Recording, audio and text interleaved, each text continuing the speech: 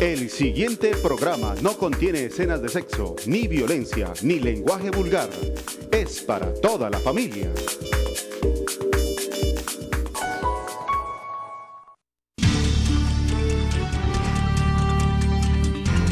Aquí está la más completa información de Fusagasugá y la región. Manténgase al día con el acontecer de la ciudad Jardín de Colombia.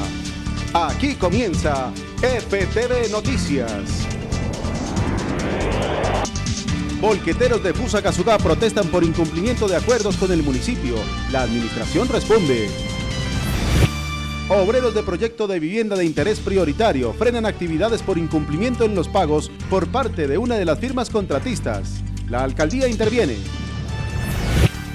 Haga parte del Día de las Mercedes en el IMPEC de Fusagasugá. Únase a esta actividad con donaciones para los internos. A través de nuestras redes sociales piden intervenciones en la malla vial de la urbanización Cádiz. Si usted siguió paso a paso el Mundial, no se puede perder Mundialazo, el libro recomendado de la semana por FTV Noticias. En el Día Mundial contra la Explotación Sexual, un mensaje para rechazar este delito. Esta y mucha más información solo por FTV Noticias. Buenas noches y bienvenidos a la información en FTV Noticias. El gremio volquetero de Fusagasugá se unió una protesta, según ellos, por el incumplimiento que ha tenido la administración municipal en algunos acuerdos laborales que ya estaban establecidos. Veamos. Los conductores de volquetas del municipio realizaron hoy una protesta pacífica, pues aseguran que las firmas contratistas de las obras de vivienda de interés social que se adelantan en Fusagasugá no los están empleando y que por el contrario están contratando a trabajadores de otros municipios. Con el bloqueo de las entradas a la obra, manifestaron su desacuerdo con esta posición. Los volqueteros aseguran que los vehículos contratados averían las vías. ¿Qué es lo que ustedes están pidiendo hoy? Que se nos cumplan los compromisos que se adquirieron en el momento. Que se cumplan los compromisos que se adquirieron en el momento. Que nos cumplan con el, con el sistema de trabajo de las obras oficiales, que sea para los volqueteros de Fusagasugá y para la gente de Fusagasugá.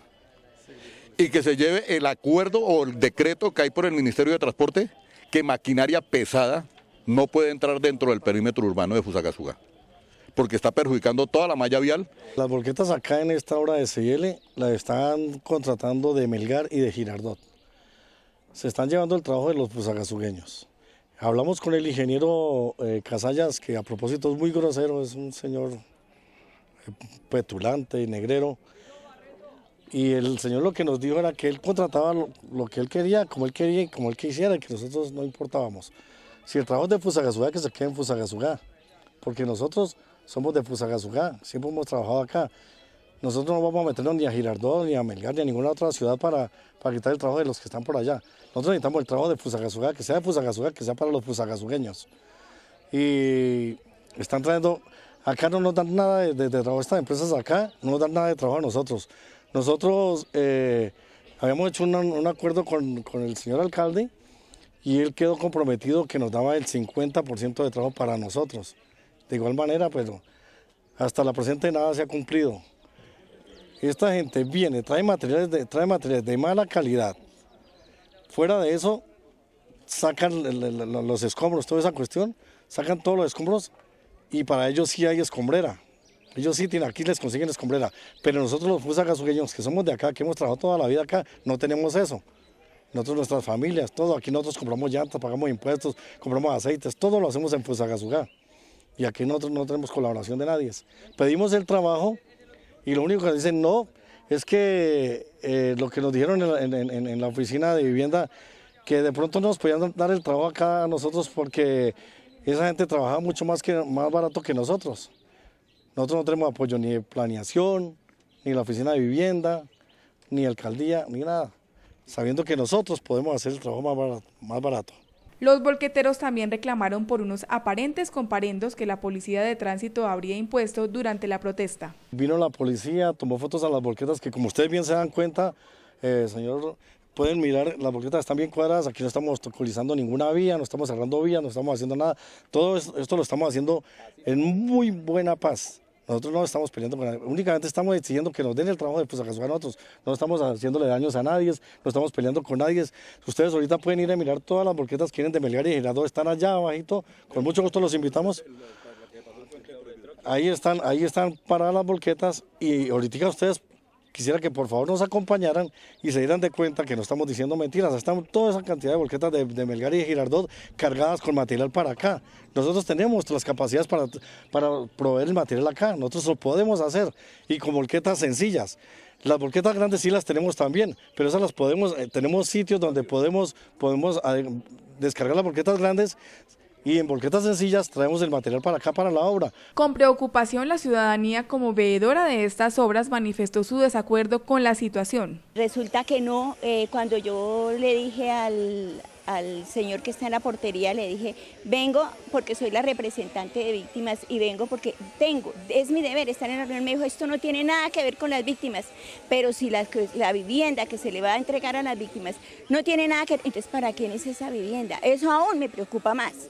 Eh, les dije que por favor le dijeran al ingeniero o al que estaba presidiendo la reunión que yo necesitaba entrar y que no, que hasta esperar. Entonces, no entiendo la razón si yo fui elegida eh, por más de 6.000 víctimas que están dentro del perímetro urbano de Fusagasugá y ahora salen con el cuento que no, que, que las víctimas no deben tener representación en esa, en esa reunión. Me parece grave, me parece grave la cuestión. Mientras tanto, los conductores afirman que si no hay solución continuarán bloqueando las vías. Ya se están generando enfrentamientos entre los volqueteros contratados y los de Fusagasugá.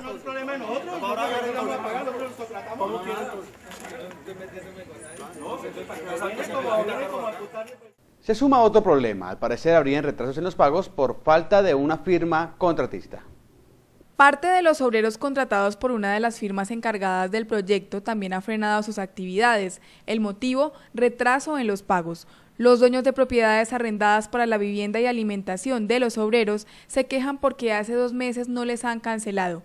Muchos han dicho que si no les pagan tendrán que verse obligados a suspender la alimentación y el servicio de alojamiento. Obviamente nosotros estamos haciendo un paro pacífico, todos los trabajadores, no de SIL, sino del contratista Hernando Lupaco porque en realidad SIL nos ha demostrado que él ha venido respondiendo con este contratista, lo que pasa es que el contratista es el que nos está quedando mal a nosotros todos los obreros. Em, en este momento, en la actualidad, nos está debiendo a todos un monto como de 50 a 52 millones de pesos. Entonces yo quiero pedirle el favor a las directivas de SIL, la empresa donde estamos ubicados, de que ah, nos solucionen ese problema ellos, ellos tendrán que saber cómo, cómo van a hacer con el contratista Hernando Lupaco. Afectaciones con problemas de servicios, de arriendo. Pues ¿Usted les arrienda a los obreros que trabajan aquí? A Lupaco, a Hernando Lupaco. Y pues me veo afectada porque pues de todas formas ahorita llegan los recibos y yo de dónde pago y llegan, llegan y, y me los cortan si yo no los pago. Entonces yo necesito pues que no sé quién se haga cargo a esto, si la empresa de acá o no sé a quién decirle. ¿Por cuánto no le pagan? Eh, dos meses, ya dos meses de servicios, no más de servicios, claro, de arriendo. Y de servicios pues ya tiene como un cuantos acumulados ahí. Sí. Y, que, el cuento es que no le ha llegado platica, pues yo no sé qué tal será la empresa eh, de seria o, o que no le ha pagado, no sé. Cuando regresemos de comerciales tendremos la respuesta de la Administración Municipal No Se Muevan.